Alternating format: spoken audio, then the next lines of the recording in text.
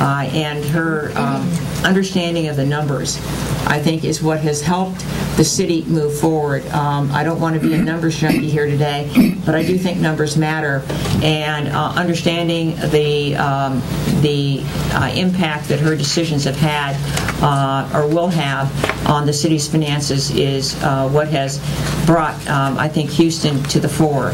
Um, so it is uh, my pleasure. I have no idea. I don't. The, the screen should be live behind us, and um, Maybe, maybe this Kathleen, we can also do state first. the state first and then the county. Well, do you want? Why, why don't we? Why don't we switch our, our, our presentation then, and we'll move. Um, we'll move actually to Wayne County, um, and um, Wayne County. Um, uh, is is here today not only because of the bold leadership they've taken in what is really a um, uh, a very challenging economic environment. Uh, uh, is Wayne County is part of Detroit, Michigan, or Detroit, Michigan is Carla Sledge. Carla has a storied background. She came from a background as a CPA at Ernest Young, and and then served. Uh, is serving as the chief financial officer uh, for uh, Wayne County. Importantly, Carla uh, has a broader understanding than just uh, uh, Wayne County. She was the uh, president of the uh, of the uh, GFOA, which is the Government Finance Officers Association. So she she has a national um, uh, perspective as well as hands-on in terms of uh, her local um, system. So Carla, Thank you. and and uh, you see the, the joy of tech support has arrived. This is yours? Yes.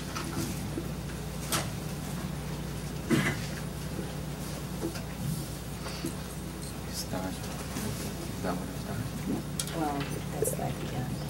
So how do I calculate? You just got minimized. Oh, she had a problem with I don't know. I didn't think she did. For those very kind words. Um, Let me just start off by telling you about Wayne County, because I need to just set the backdrop for you in case you're not very familiar with Wayne County. I came to Wayne County, Michigan in about 1995. And just to give you a little bit of background, we had a budget of about $2.3 billion. It was the 11th largest county in the world.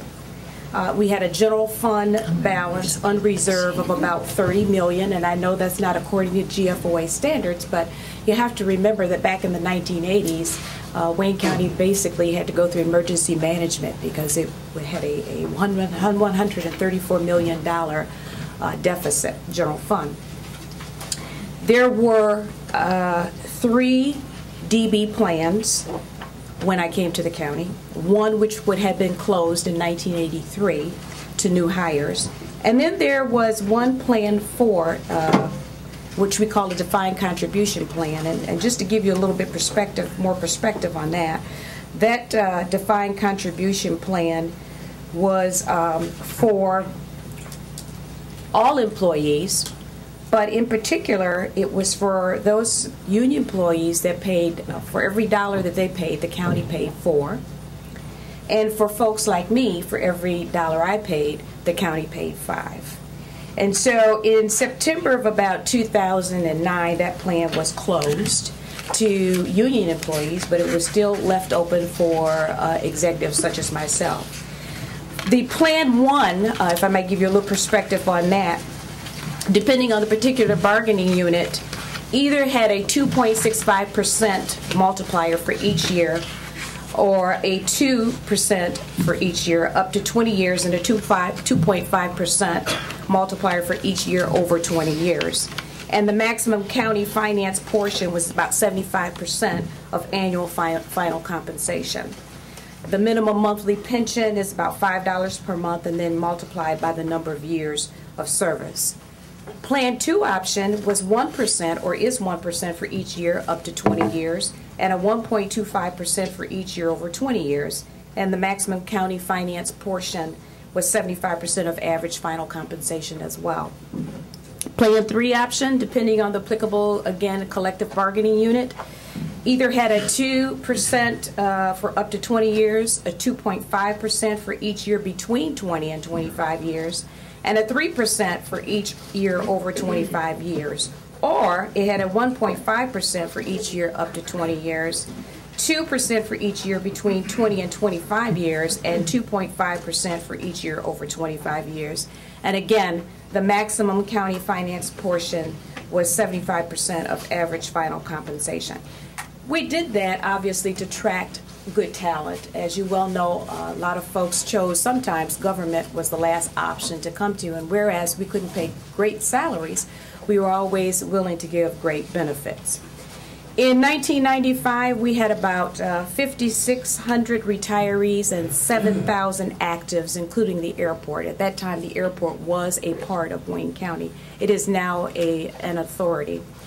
The pensions were fully funded, and we had a rainy day fund of about 30 million. I'm going to fast forward now to 2009, and I'm, I'm going to 2009 because that's the last audited financial statements where we have a budget now of about 2.1 billion. We are now the 13th largest county. We have lost population in the city of Detroit. I know that's not news to most of you. Our general fund balance has an unreserved negative $6.8 million. Our rainy day fund has dropped to $3 million. And we now have, again, we still have the, the closed three uh, defined benefit plans, but we have added, and I think it was fiscal year 2001 a uh, Plan 5 option, which is our hybrid plan. And again, it's dependent upon the uh, collective bargaining agreement, but there's a 2 point or 2% per year for each year of credited service or 1.25% for each year up to 20 years for that hybrid plan.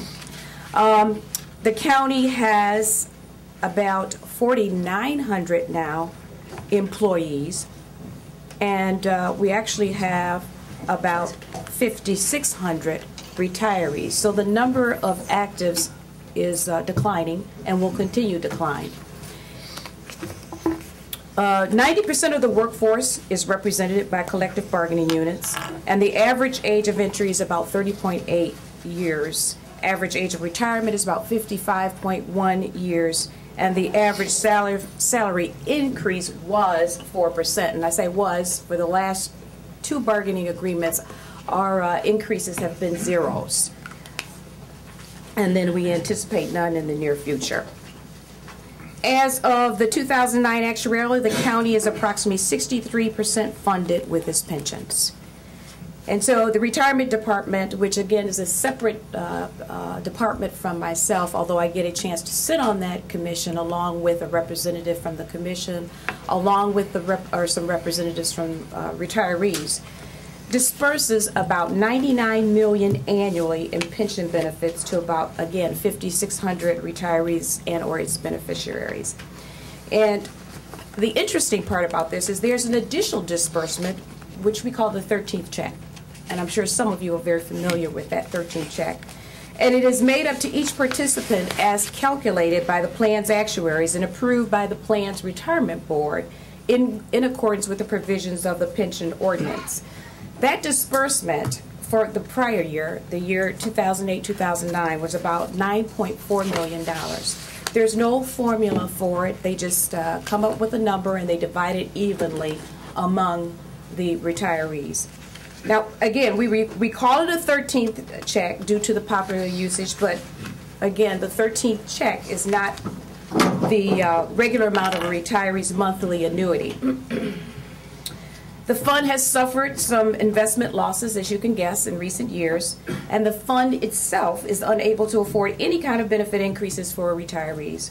So, in order to approve a 13th check for retirees, the pension board either had to contribute enough money to the fund to bring it back to its financial health and then include enough to allow the county to pay for the check or simply fund the payment directly from county coffers. And so given the anticipated deficit of 52 million for the county this year, uh, this 13th check, if you will, is being evaluated and uh, as it is not a benefit that is promised through union agreements. All right, so what have I done? What have we learned? uh, should I say. Uh, we're all familiar with the fact that government accounting standards, GASB 25 and 27, uh, talk about the escalating liabilities for unfunded pension plans and how they must now be carried on the balance sheets of state and local governments. And of course, this particular GASB or these GASBs uh, challenge our debt ratings. It challenged the, it raises the cost of borrowing. It's the um, and then if not made, of course, turn and create larger budget deficits. And on top of that, with our declining tax revenues, uh, combined with a decade of substandard investment returns, all of these things just help uh, force for us to come up with other creative ideas on how we can help uh, meet this obligation and hopefully uh, not be in trouble with the angry employees, needless to say, political backlash, and of course, the voters. So, what we've come up with is something that we call the unique solution. Well, it's, that's not my name. it is. Uh, we're using some consultants, and it's an effort to unfund to unfund our unfunded or to fund our unfunded liability. You heard me say in my beginning remarks that we're about 63% funded. So here's the methodology. The county currently provides term life insurance for all of its employees as we speak today. And there is currently over 208 million of death benefits in place and available to employees through the existing group term plan. We're, we're, some of us are sitting here speechless. So, under this unique solution, a TPA or the consultant was arranged for an insurance carrier to provide group term coverage to the county for active employees. The county modifies the insurance structure of its employee life insurance program, purchasing group whole life insurance as opposed to group term life insurance for all active employees. The death benefit available to the employee's named beneficiaries still remains the same. So when the employee is no longer an active employee of the county, the death benefit coverage will vest to the pension plan. So the pension books the present value, of course, given an actuarial discounted method of the total death benefit of the employee life insurance program, less an agreed upon amount to account for the employee mortality while still employed by the county. So the resulting increase to the uni- unique solution is reflected as an additional asset of the pension. So this strategy limits. Is this premium- kind of an arbitrage of death? The, the strategy limits premium payments to new revenues and permits future contract payments to not be a liability on the county's oh. balance sheet. And upon death of a non-active of a former employee, the death benefit is paid to the pension, providing additional revenues to offset underfunded pensions. Now, I'm just going to, because that was a lot said, I'm going to show you the slide on what we're kind of looking. underwriter? I'll, I'll give you that name later. Okay. All right, so, so, take a look at the slide up here. If you take a look at this slide, you'll notice that, uh, let's just assume, for the sake of this conversation, that we're going to give everybody a death benefit of $280,000. And let's just look at the very first column, which tells you about our current year obligation. You'll see that our funding level, as I've said about two or three times now, is about 63%. And that, of course, there, as we sit today, there's no total permanent death benefit.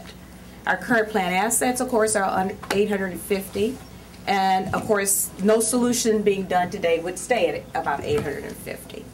Our current liabilities about 1.3 billion, and of course, our unfunded, overfunded ALL is uh, at uh, a negative 488 million.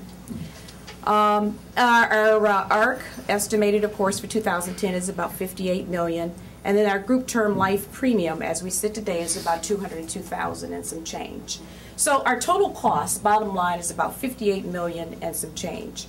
Using the unique solution, and it's under various uh, discounts, as you can see, under the 6% discount, 7% discount, the 8% discount, uh, we would create an asset, assuming we're going with the $280,000 of about uh, a, um, we would have a funding level that is of 109%.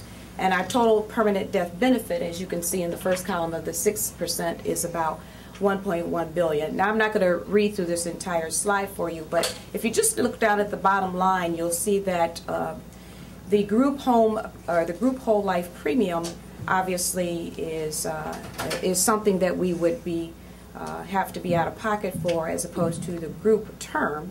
And uh, it, it's, it remains the same no matter which discount we use. But the TPA, who says that uh, they're charging 35 per head, is only charging us a flat fee of about $142,000 and some change. So our total cost respectively for the 6%, 7%, and 8% is about 39 million, 34 million, and 29 million. And then, of course, our first year savings are, are about 18 million, and 23 million, and about 28 million. So this solution, of course, uh, as you ponder on that slide, this solution has for uh, has quite a few benefits. Obviously, it helps us to create a positive benefit for the employees. That is whole life versus term. It addresses the shortfall of the pension, and, and they say OPEB, we're looking to do it with the pension uh, being underfunded. It provides additional funding necessary for the county to meet its commitments, and it provides benefits to the county after the pension terms are met. This has to be negotiated, of course, with the bargaining units, and, uh, in my our minds is just another alternative to so, to solve the unfunded liability which are kind of less appealing, such as increasing tax, taxes and arbitrage, which I heard someone say before, borrowing money at a rate and investing those funds at a higher rate. Um, and then it also helps us with the issue of not being able to honor the liabilities that are guaranteed, and then it also helps us to negotiate with lower benefits. So that's kind of our new creative, out-of-the-box thinking for our unfunded uh, liabilities. And I'll be happy to answer questions for you later. Thank you very much. Now we're going to rotate back to the city of Houston, if we may, and um, we'll get the city of Houston slides up. And Ann, do you want to begin your, your comments? I'd be happy to. Um,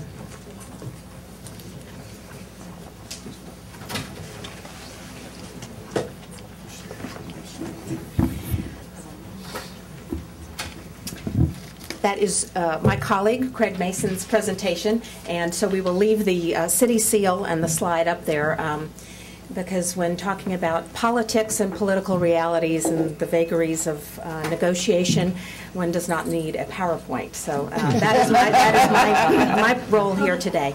My name is Ann Clutterbuck. I'm the Mayor Pro Tem of the City of Houston. I'm an elected official. I am also a City Council member, and I represent about 300,000 people on City Council. We, um, I'm also chair of the Budget and Fiscal Affairs Committee. I am in the last term of my um, three two-year terms, so I'm in my fifth year. And um, I serve on a council body where each council member has one vote. There are 14 council members, and our vote is also uh, equal to that of the mayor, who also has one vote. The mayor is also term limited. We also, in our uh, system of governance, have a, an elected city controller who does not have a vote on council but must certify the availability of funds on anything that we end up voting on. As uh, Also term limit, I, I beg your pardon, I'm sorry. limit. Uh, Is, the question is, is the controller also term limited? Yes, everybody's, everybody's term limited. Um, We have the most restrictive term limits um, it- by our estimation, certainly in the state of Texas, now that uh, San Antonio increased their length of term, and, um, and it has impacts, which I will um, address in just a moment. Uh, Kathleen asked nicely if I could, if I could uh, just tell you a little bit about our new mayor. She is uh, not new to anybody in the city of Houston. She is the first mayor who both served uh, as a council member for six years and then as our city controller for six years. So she comes to being mayor with a, a broad perspective.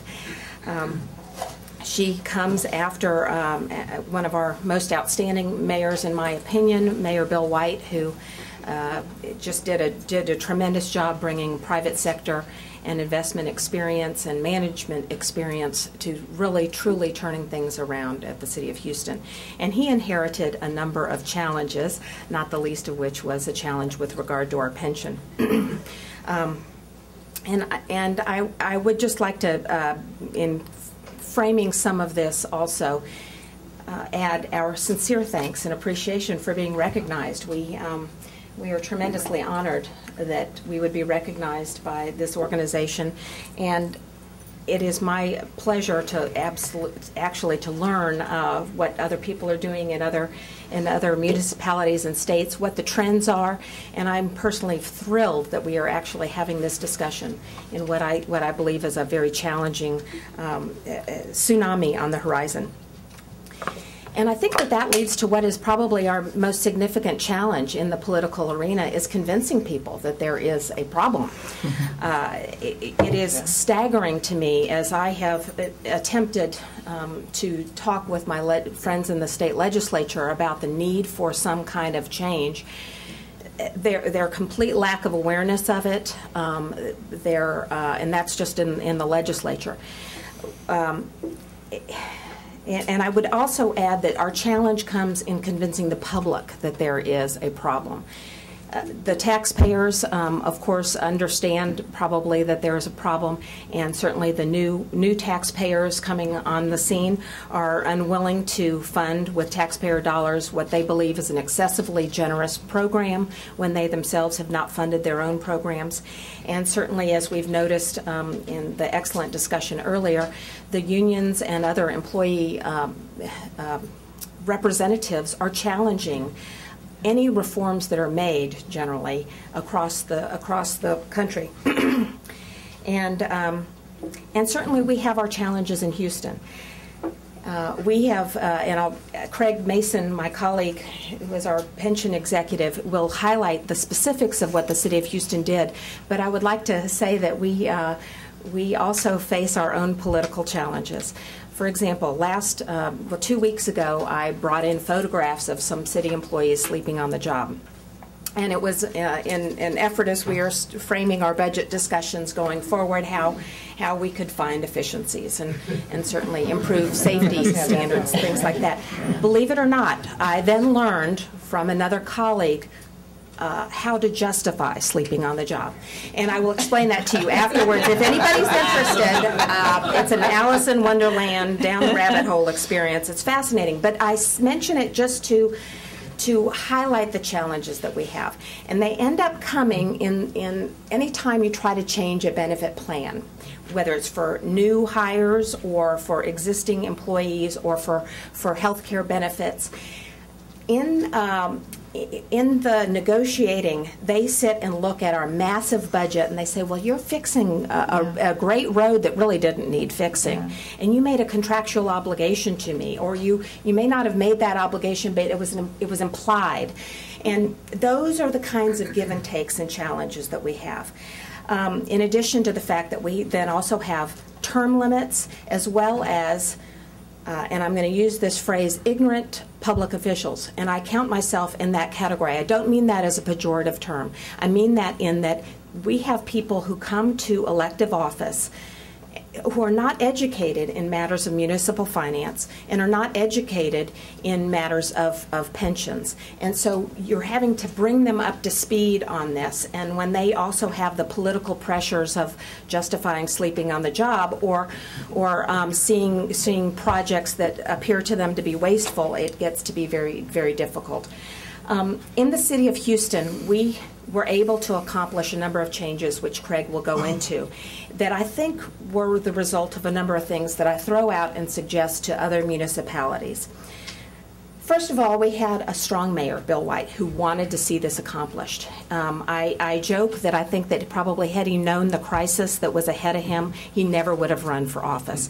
One of the things that he realized after he took office was that a change adopted by the previous mayor and council that was going to raise um, the city contribution from 10% of payroll up to about 15% actually had the effect of increasing it over 50%. Whoops, uh, huge problem.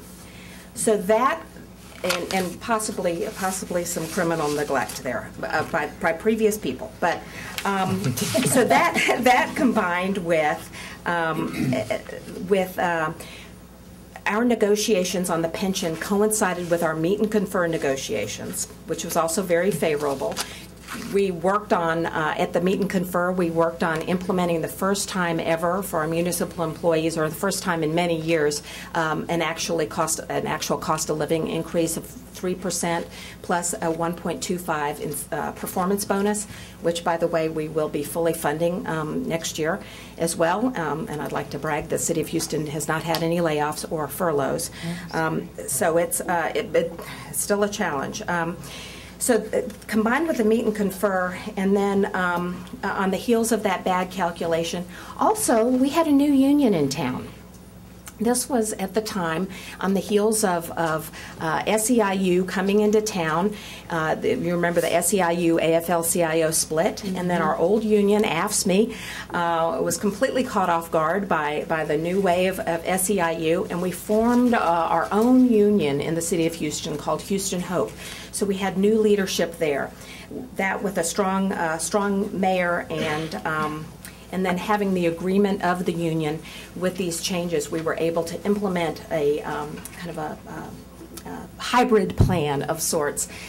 Um, and unless you have the agreement of the union, um, you have to rely on passing statutes that are subject to legal challenge or um, threatening bankruptcy or threatening to go to the voters uh, for a referendum. And we have certainly learned in the city of Houston it's much easier to work a deal at the front end rather than trying to salvage it at the back end. Um, it, again, it's a pleasure to be here and thank you very much. I'm happy to answer any questions about our perspective. Thank you.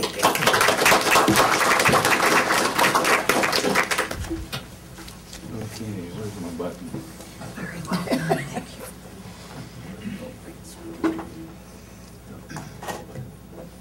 This one? Okay, uh, I'm going to get into a little bit more specific now about uh, what we did with the uh, pension plans. I'm going to focus on one plan, which I'll talk about later, but I wanted to give you a little bit more of, a, of the context in which we are operating at the city. The city sponsors three separate plans, one for the civilians, one for the firefighters, and one for the police.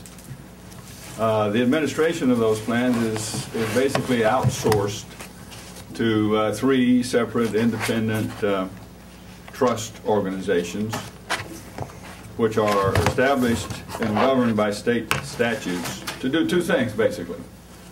Uh, Manage the investments and pay the benefits when they're due. Uh, One of the big problems I, I, I see is uh, that in those state statutes, the plan provisions, that is the plan design, how much to pay and when, is embedded in the same state statutes that uh, establishes the trust administrative organizations. And I think uh, real reform down the road, probably can't happen in my lifetime, but what you have there is uh, state legislators responsible for what the city of Houston pays its em- employees with regard to one, just one element of the total compensation package. State legislatures from Amarillo, Da- Dallas, of course, Dallas doesn't even like Houston, so Cut and Shoot wherever they come from. They, they have no interest in what uh, the city, no knowledge of what the city is paying their its employees and other elements nor do they have any responsibility for funding them. So I think there's a, there's a, there's a flaw in the structure there. What I would like to see eventually is that the, the plan design elements be under local control. Uh, the state's responsibility could be on benefit security, not, not benefit design. Um,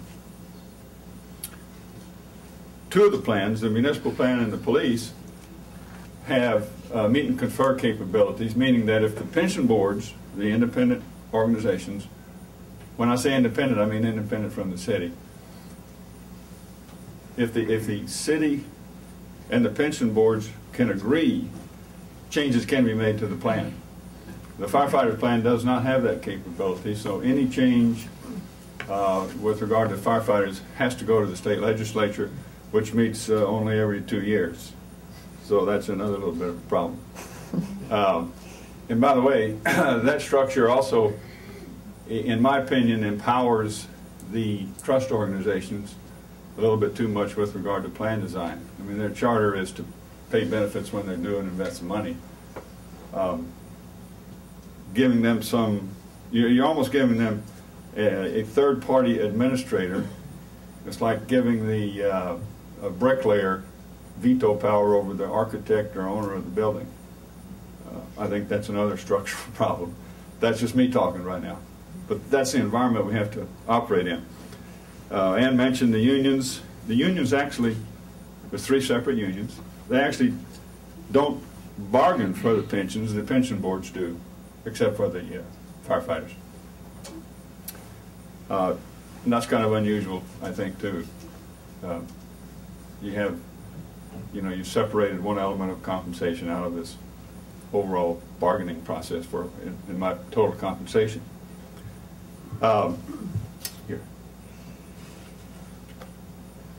Uh, just to give you an idea of the governance, uh, they're all a little bit different. You can see the numbers of trustees on these independent organizations. I think the key thing here is, uh, in, in all cases, in all three cases, a majority of the trustees are uh, beneficiaries, also beneficiaries of the plan, plans, which uh, I think creates some sort of inherent conflict of interest when they also have some power with regard to plan design. Uh, you can see here just the general size in terms of numbers of participants and, and assets. The B there stands for billions. Now here's the biggie. You can see that th th these lines, these uh, lines represent the uh, contribution, the city's contribution to the plans over these, this period of time. Uh, you can see that in the, in the decade of the 90s, they were pretty stable. And then uh, benefit decisions were made in the 2000-2002 time period, uh, which spiked up the city contributions to unsustainable levels. Uh, we're going to focus today on the red line, which is the municipal plan, which was the most uh, egregious, where Ann mentioned the uh, pension board came to the city in 2001 and said we'd like to have some benefit increases, and if if you approve them, City Council, uh, your contribution is going to increase from that 10% level that you can see was in effect for 10 so years before. It's going to increase to about 15%. Actually, the number was 14.7%. City Council said, uh, apparently said, I wasn't there, but apparently neither was Ann. apparently said, uh, okay, that sounds okay to us, we'll approve it. So then it has to go to the state legislature. Remember, the, these benefits are in the, in the legislative uh, statute, state statute. Uh, the state says, well, if the city says it's okay, it's okay with us. So the benefit uh, changes were approved. The latter part of uh, 2004, no, um, um, 2003, uh, the actuary for the pension board uh, makes a report and says, well, uh, city, your your contribution really needs to be 52.9 percent payroll. so that's a challenge.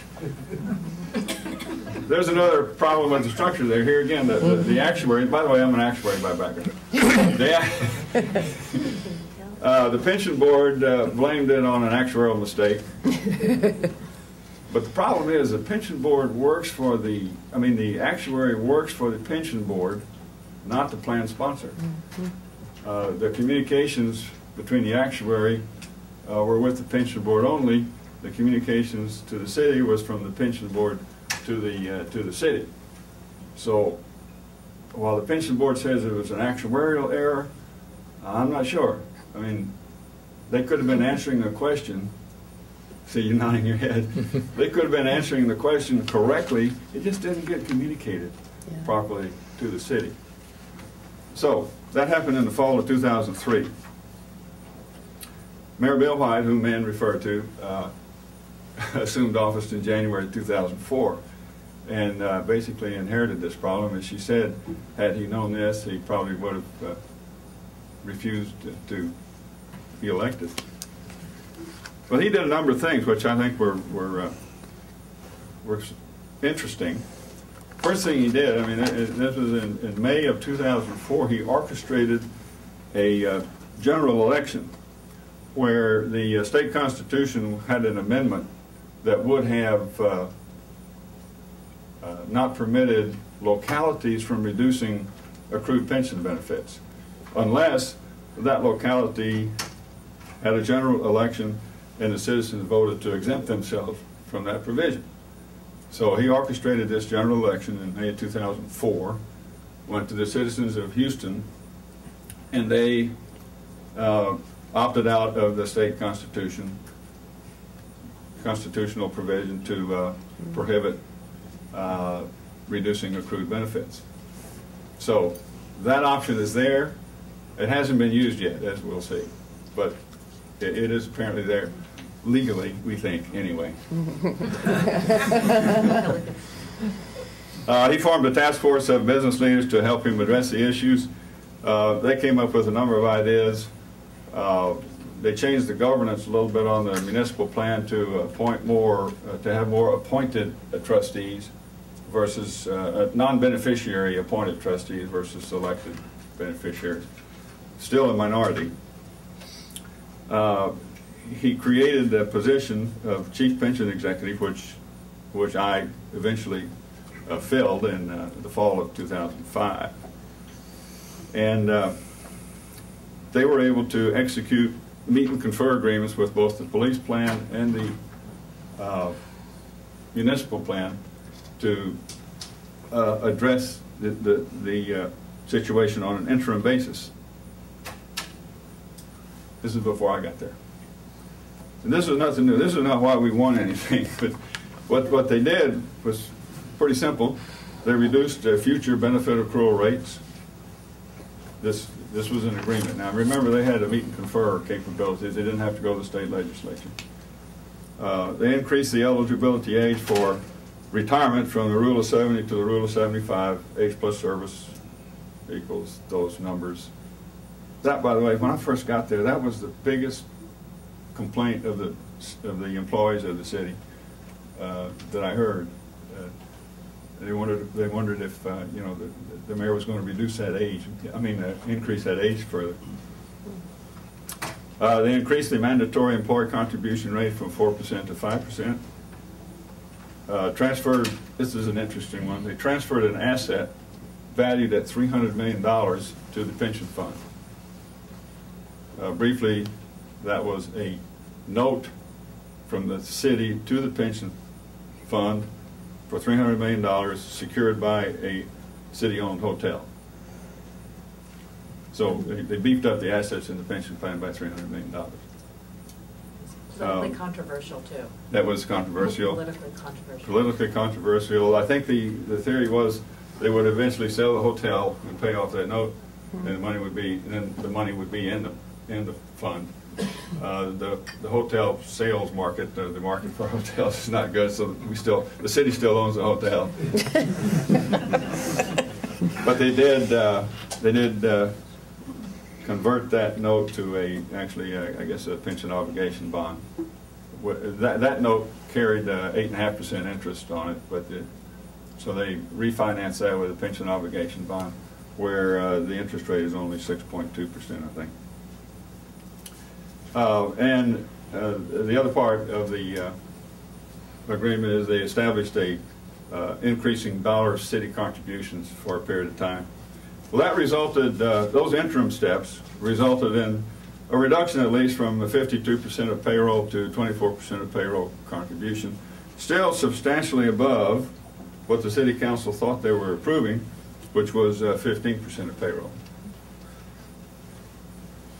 Uh, I came on board in 2005, and uh, basically my position was uh, described as uh, not really being a fixer, but a- an internal consultant, making sure that all stakeholders were aware of the issues, uh, city council, taxpayers, pension boards, state legislature, so that better decisions could be made in the future, and hopefully to prevent decisions that were made back in the 2001 time period. Um, I came from the private sector. I retired from uh, Mercer. Many of you know Mercer probably. Uh, I- and uh, so I came and I said, I looked at the plan. I was focusing now only on the municipal plan.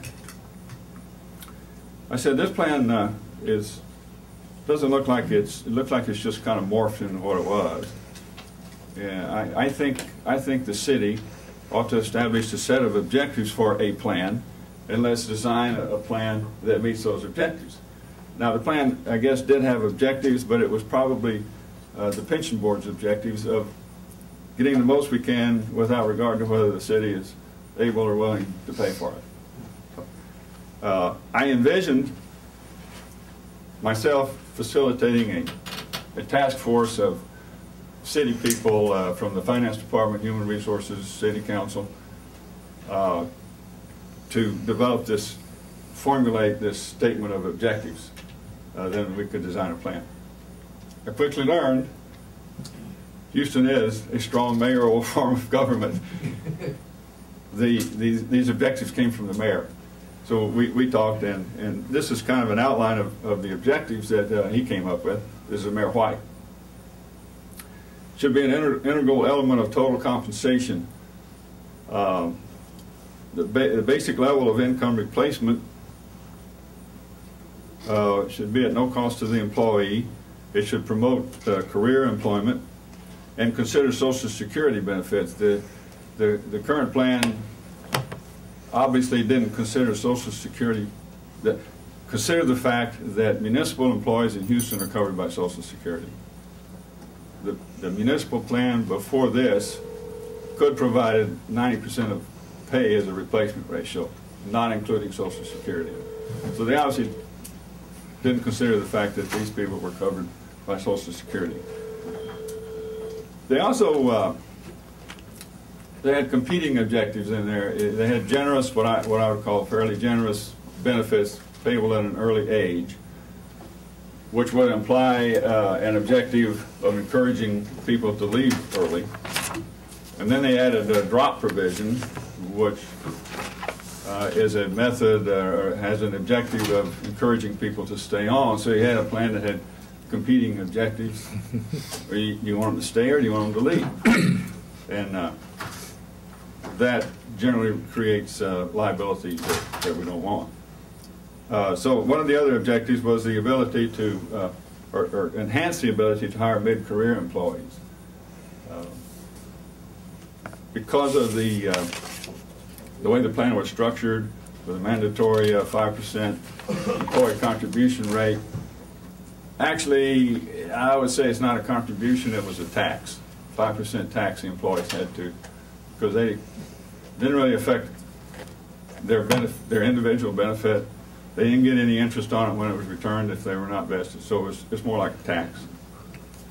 Uh, one thing the mayor really liked was providing employees uh, opportunity and flexibility to do something to manage their own money.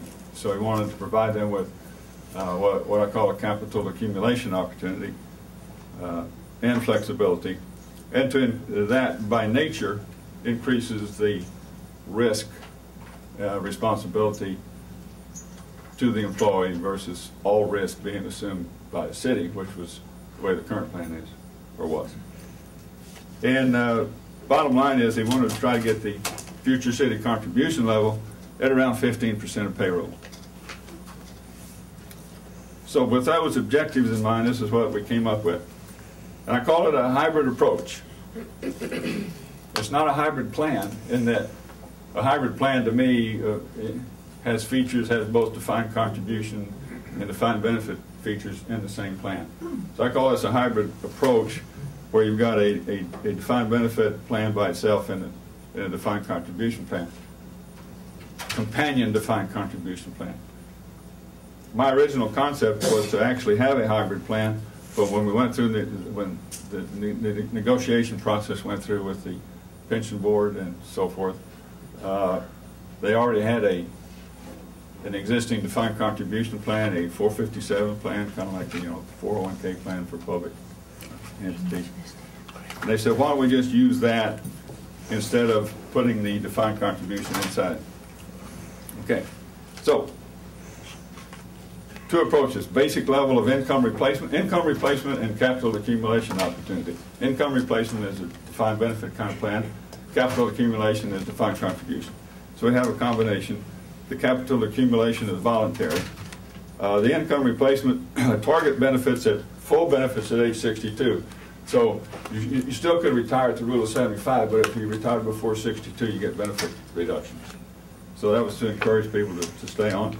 And, and these are the levels uh, that the formula works out to be. You get 45% of pay from the defined benefit, plus Social Security, plus whatever the employee does. That's the old three-legged stool after 25 years. And then, and you can see 50% uh, plus Social Security, plus employee after 30. Uh, Options to retire early, no, no cost of living, no automatic cost of living. That's up to the, it's going to be shifting more of that risk to the employees through the capital accumulation plan. No drop. And uh, basically, the new plan, had we started that from scratch, would uh, have uh, resulted in a, a contribution level of about 6% of pay. But since we're still, since the city's still paying for sins of the past, you, you're not going to get there for a while. Uh, so, uh, individual capital accumulation account provides supplemental benefits on a voluntary basis. There's a great deal of uh, risks now that the city has reduced on itself and transferred some to the employees, the risk of, of uh, investment, inflation, and longevity. There's more of a, a sharing of risk between the uh, employee and the, the city and its employees. So that's basically the new plan. Uh, It, it was, it is it is provided to new hires only after January 1 of of 2008. There was discussion about uh, providing, or providing it for all, all existing actives, or maybe just the non-vested. Came out to be all new hires, which was an easy thing to do, but again, it, it, it just takes, it's going to take longer for that 6% contribution level to phase in. Thank So you. I think, I think I did it in two minutes.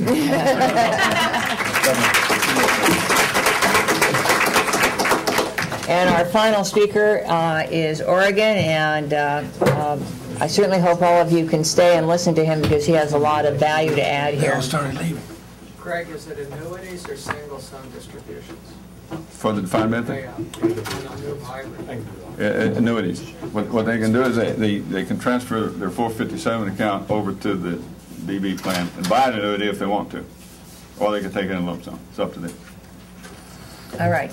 Afternoon. Good afternoon. Uh, After listening uh, this morning, I've kind of revamped my introductory uh, remarks here. Um, uh, I don't know whether to start with, hi, I'm Paul. I devastate state, local, and school district budgets for a living. Or, hi, I'm Paul. The rumors of my death are greatly exaggerated, and if I was in Michigan, maybe insured. But I think you'll find that probably like the new normal, uh, the truth lies somewhere in between.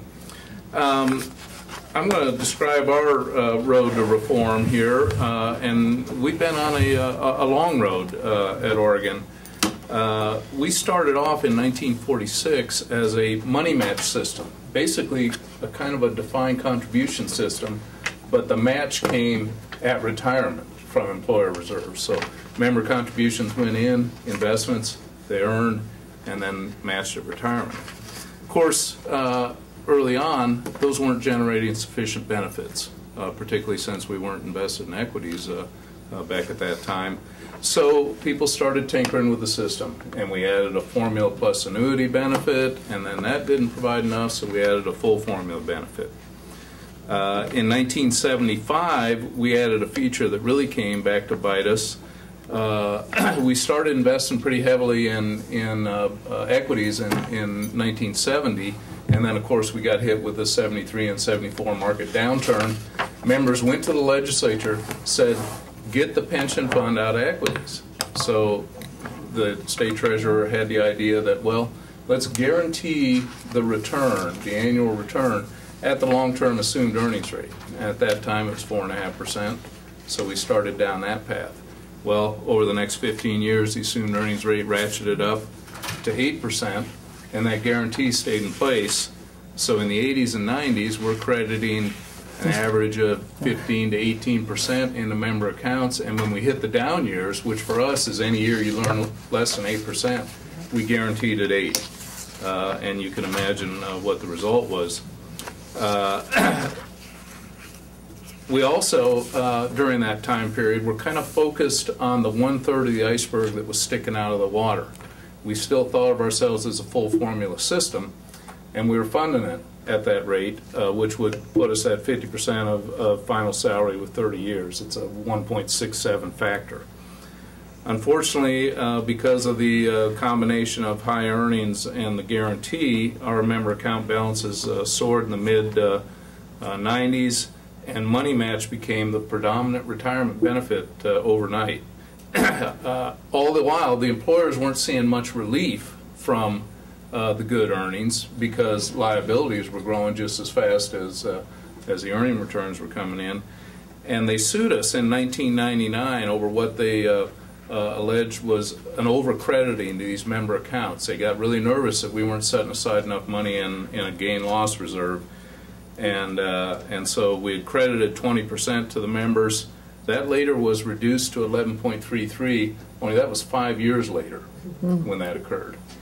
Uh, we hit a market downturn in the early 2000s. The employers saw their rates starting to soar again, and at the same time, members started retiring at 100% of final average salary in a system that was designed and being funded to retire you at 50%.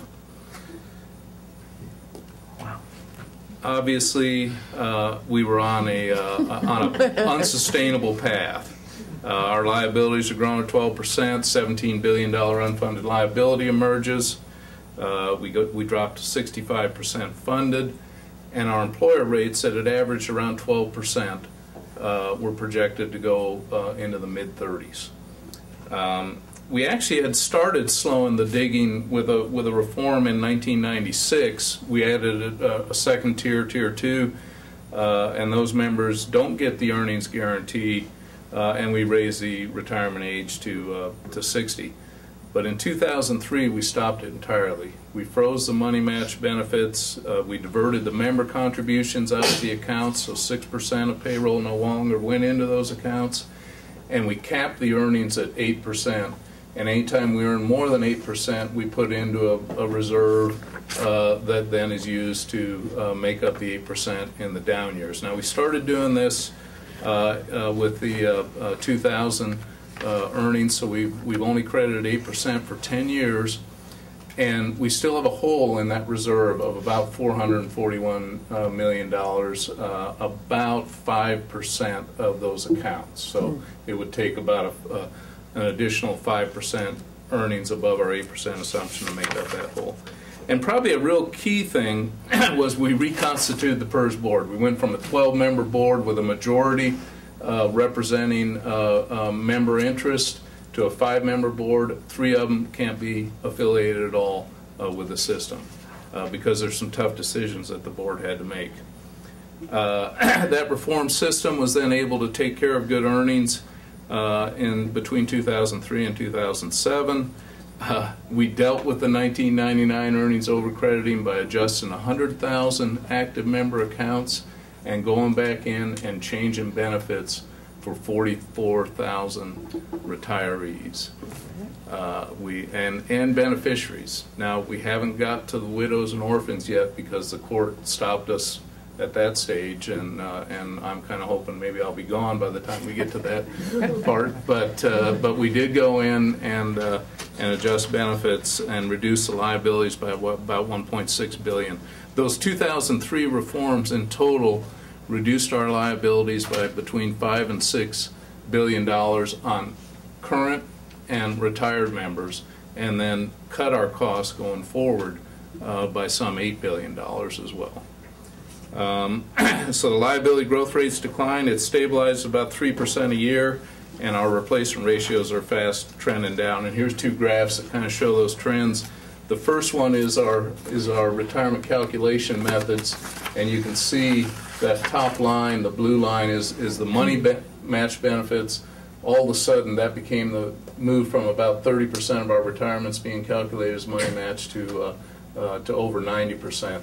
That's trending down, and the same with the replacement ratio, uh, which is below uh, where we got our 30-year members are on the blue line, and the uh, yellow line is our total members, uh, and both of those are trending back downwards towards that 50% uh, uh, of pay. We've also, of course, implemented a new tier for new for new hires, and uh, and this is just a plain vanilla uh, defined benefit plan. That was an important uh, uh, feature that uh, Governor Kulongoski, uh, who was the leader of these reforms, uh, and uh, uh, it became a big issue in the 2002 governor's race, wanted to preserve. He wanted to preserve uh, a defined benefit element, and there was a big struggle. We had a, uh, a Republican uh, House, and the Senate was split between Democrats and Republicans. So there was a big struggle between switching all new members into a DC plan, and and we came up with uh, uh, with being able to preserve kind of a plain vanilla DB plan with a, uh, a DC component, a hybrid component. But retirement age increased to 65. The formula benefit only gets you 45% at 30 years. We, we did a lot of things on final average salary to present, prevent some of the uh, uh, dysfunctions that can occur there. Uh, Our COLA is uh, the uh, actual cost of living capped at 2% for the Tier 1, Tier 2 retirees. They get to carry over uh, when we have higher uh, uh, cost of living increases than 2%. They get to carry over the excess that got eliminated here. Uh, There's no subsidy for retiree health insurance uh, premiums. We, in our Tier 1 and Tier 2 plans as a system, we provide very little. Uh, We give you $60 a month at Medicare age, and we let you stay pooled with the actives pre-Medicare. Now, obviously, there's an implicit uh, subsidy associated with being pooled with the actives. I always tell people, if you know how to spell Lipitor, you want to be pooled with people who don't. Certainly an advantage there, and we recognize that, but uh, that's one of the things that, that have, has helped us out. We've not gotten into any major liabilities, uh, and we actually fund our, our $60 premium. Uh, Member contributions now go into this individual account, uh, no uh, earnings guarantee and no match. Didn't come easy. Uh, Don't want to, don't want to imply that this stuff is easy. Uh, Pre-reform, of course, we, as an agency, uh, we'd pretty much lost our credibility. Uh, We'd failed to identify the problems, uh, we failed to craft responsible solutions, and we were pretty much left out uh, of the solution that was crafted in 2003. And as a result, of course, the legislature, in their wisdom, developed a new program. We'd have probably suggested a few changes. One of them would have been, don't require us to implement two new programs and an entirely new employer reporting system in four months. Uh, what- becau- And also have all these retirement trigger dates that are going on at the same time to where our, we we went from about 6,000 retirements annually to, to over 12,000, almost 13,000 that year. Uh, So we, we fixed the system, but we darn near broke the agency. And you need to keep that in mind as, uh, if you're reforming uh, anything. And then, of course, when you go in and modify current member benefits or recover money from retirees, you're going to get to know a number of attorneys on a first-name basis. And, and we had numerous lawsuits, most of them we uh, prevailed on. Uh, We still have an active suit over whether we can collect money from retirees and beneficiaries that already got out the door. It's pretty settled that we could reduce benefits going forward, but the question of whether we could collect, and it's about $160 million a question there, uh, is still active. Uh, And there were political ramifications as well. Uh, Governor Kulongoski, uh, uh, in his uh, run for his second term, didn't get endorsed uh, by the unions. They actually brought up another candidate in a primary and endorsed uh, him. Uh, The governor prevailed in that. Uh, We had several major Democrat uh, sponsors that realized they weren't going to be able to continue in the legislature. One of them went into administrative position, another one tried to run for attorney general, didn't get the support of the unions. They brought up another candidate for that. So uh, it's tough things, uh, uh, you know, to make a, a system that uh, was basically unsustainable into one that you could sustain long term. Um, some principles uh, I think that I can share with you. Um, you know, focus on long-term sustainability, adequate and affordable benefits. They got to be both. If they're not affordable, you're not going to be able to sustain them. If they're not adequate, you're not going to be able to sustain uh, the, the attractiveness of your uh, uh, of your system. Uh, do what you can to provide predictable and stable employer rates. Always fund the ARC. Yep. Really important. Don't don't dig a hole by deferring the actuarially required contribution. Uh, protect your funded status by cri- critically evaluating your assumptions. Uh, we go through that all the time. Uh, you know, the big question now is, you know, is your assumed earnings rate uh, reasonable or not? Uh, I can tell you that uh, uh, in the 90s, uh, we had members showing up when we were averaging 18% returns, screaming, "Why don't you raise your assumed earnings rate?" Because that was their guarantee, and they'd say, "Any idiot can earn 8%."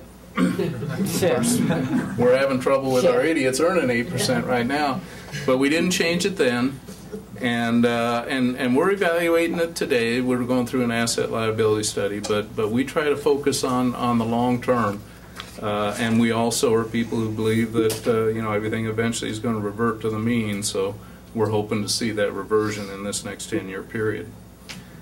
Uh, maintain intergenerational equity uh, be an accurate, credible information source, and make decisions in an open and transparent manner. We still got a long road to go. We are an investment-based retirement system. 69% of our revenues come from investment returns, uh, and that is the key for our sustainability. Um, We're also a mature system. Uh, About 65% of our liabilities are baked in for retirees and inactives. My employer rate uh, for, uh, uh, for the upcoming biennium, uh, 40% of that, and it's going to average about 16% of payroll, 40% of that isn't going for the benefits on the salaries that I'm assessing it, it against. It's going to pay off the unfunded liability for retirees that reemerged. You know, we were 112% funded at the end of 2007. 2008 knocked us down to about 80% funded. We've come back to about 87% funded with the 2009 returns. but that's a difficult thing for people to understand. I'm, I'm collecting money on people's salary to pay benefits to the person they replaced. And so you can't just say, well, you guys, you're, you're, you're assessing, you know, 16% against pay for this person's benefit. It's actually only about 12 for their benefit, and the rest of it's going for uh, the person they replaced. Um, you know, we we recognize that full recovery from those 2008 returns is going to have to occur for, in order for us to stabilize uh, this system.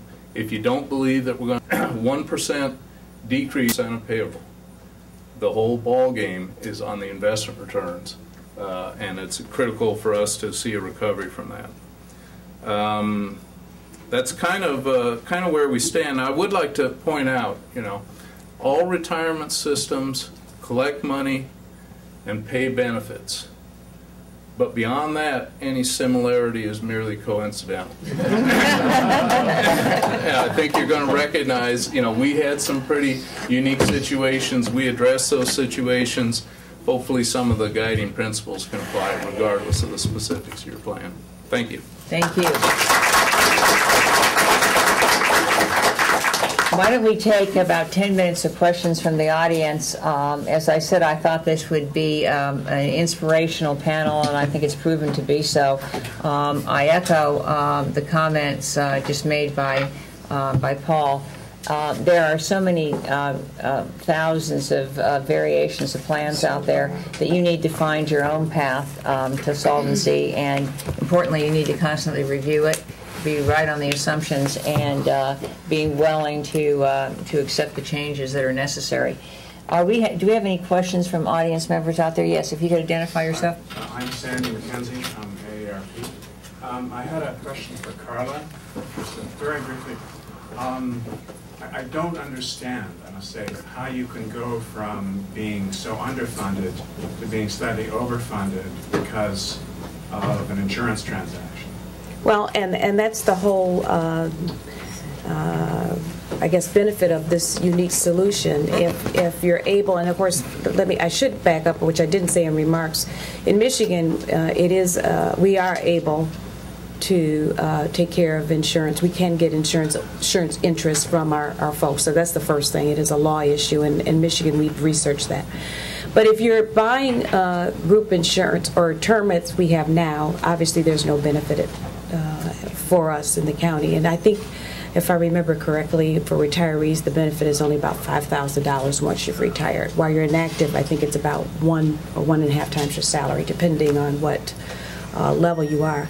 So if you get this in insurable interest, which again has to be bargained for, and uh, you get one of the three, or maybe two of the three, whichever you want to do, uh, insurance companies, which of course you know that won't go out of business in the, in the next year. They're pretty reputable insurance companies to go ahead and buy this group whole, I mean this whole life insurance for you. Then immediately you uh, you have created this asset on the books. But- there's, must be a corresponding liability. Well, yeah, and I and, and the liability, absolutely, there's still the liability on there. I mean, you obviously your your costs. Well, let me back up. The costs go up for buying whole life insurance first because my group term life insurance was much less, and that was on the slide. I mean, my group term is only about two hundred two thousand, and when you buy the the premium for the whole life goes up. And I remember the exact the numbers now, but it goes up. But at the end of the day, uh, I have a net savings uh, by creating this asset. Thank you. Uh, Elizabeth? Just a follow-up to that, because I was kind of scratching my head trying to figure it out too. So uh, you, you buy a policy for an individual worker, and that policy would be worth what? what, whatever, I mean, I, I just used up, I used the number 200 and what, whatever, was 80,000 on that slide. And then a portion of that group, uh, whole life cash benefit then goes to the county? Is that how it works? I mean, how does the county get a financial gain from The- this insurance policy? You're exactly right, it goes to the county. The cash value? Yeah. Okay. Are there any other questions? Yes. You talked about, Could you identify yourself, please? um, my name is Otis Manoa. Um, I just want to focus on the national rate of return. and that's Right. home. Right. Um, Are you still using the eight percent, and do you think that's sustainable long? Right, yeah, yeah, we, we review our uh, return assumption every two years. Uh, We reviewed it last spring, and we use our actuary and their capital market projections, as well as our uh, general consultant to our investment council. And um, uh, the range was between 7.7 and 8.9, and so the board decided that based on that, it was, uh, again, because we're long-term, it was reasonable to, uh, uh, to maintain the 8% assumed rate. Our actual experience uh, over the 39 years since uh, starting to invest in, in equities, I think was about, has been about 10.73 uh, percent on average. Our annualized return for the last 25 years, including 2008, 2009, is about 9.2 percent. Now, you know, we're talking about projecting forward, uh, and, uh, you know, I can line up 20 consultants and get you 30 different projections, Uh, but, uh, uh, you know, we, like I said, we didn't change it uh, when we had the super high returns in the 80s and the 90s, and, and, you know, because of that, we need to see some really solid evidence that things have dramatically changed, if indeed they have. I've, I've heard a lot about new normals in 34 years of my career, and they always seem to be more related to the old normals, but uh, uh, if you give them enough time. Uh, We'll take one final question. Dallas? Uh, The plan pays single sum distributions or annuities? Uh, Yes, and, and we all, well, we, we, now, Choice or it's just one? we we can do, we do lump sum distributions, and, and to uh, uh, Kathleen's point earlier on, uh, when, when the members start getting nervous, uh, we start seeing the lump sum distributions go up. Now, the actuaries will tell you, hey, actually, that's to your advantage, because then you don't have to pay cost of living on them. My investment folks will say, yeah, but make sure you keep us aware of the liquidity needs. Absolutely, yeah. Uh, But, but we see about 8% of our people taking a total lump sum. They'll pull out their entire account balance. Uh, And we see another 5 or 6% take a, a lump sum plus an annuity varying out to five years or, or, or over their uh, remaining lifespan. But we may be somewhat unique in that, Dallas, because because of the way that we had the account balance driven benefits, um, you know, in the, for the, for the third tier, we won't try to uh, convert uh, a stream of benefit payments into a present net value and do a lump sum there. There's no account balance to, to, to take out. Carla, the, the employee still is entitled to some death benefit? Absolutely. And it's the death benefit or the cash value that goes to the account? The cash value. Versus- And so the full death benefit, the two hundred and eighty Goes thousand to death the- benefit still goes to the Yes, individual? absolutely. You know, it's, it's intriguing. I really have to look at it in numbers and figure out how it works. How I- many people have died? I haven't seen it. No, I'm just wondering, how, how many times has it happened where everything went according to the picture? Not Like enough twenty, a yet. hundred? Yeah, It no, just no. started. I haven't done this yet. This is what we're, we're talking about implementing, you which die- by, which, which by the way, yeah, which by the way, uh, they, our consultants can suggest that we can do this within 90 days, once we have Right. gone ahead. Yeah, I I know. Once we've gone ahead and, and negotiated with our. The, the earlier they die, the better. That's called an actuarial gain. Well, indeed, except that there's this payoff, thank you, yes. I mean, some family member's gonna say, wait a minute, grandpa's worth more dead than Oh, well, on that happy note, um, uh, may I suggest that we take that off the record, um, lest anyone be accusing us of orchestrating, um, uh, you know, uh, Since I'm a misfortune to our, our our pension benefi- beneficiaries. On behalf of the uh, New America uh, Foundation and uh, the UC uh, Retirement Security Institute, I want to thank you all for coming.